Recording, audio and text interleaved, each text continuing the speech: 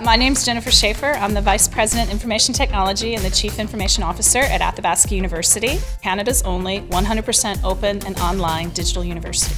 So right now there's about 40,000 students. Most of them are working, uh, most of them have children, and 70% of them are the first person in their family to achieve a university degree.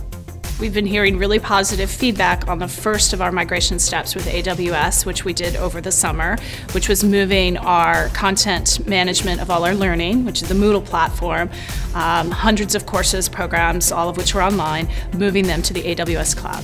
It feels like the right match for what we're doing on the cutting edge of digital learning for Canada, especially with our uh, remote learners in rural communities and our international learners.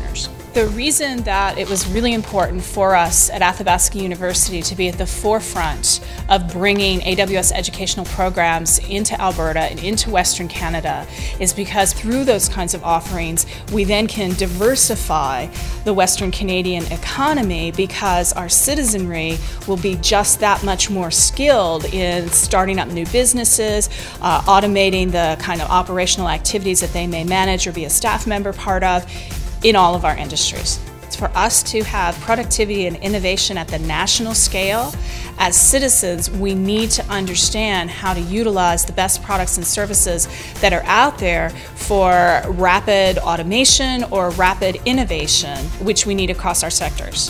So that's the reason that AWS is really important to the economic diversification of Alberta and Western Canada as a whole.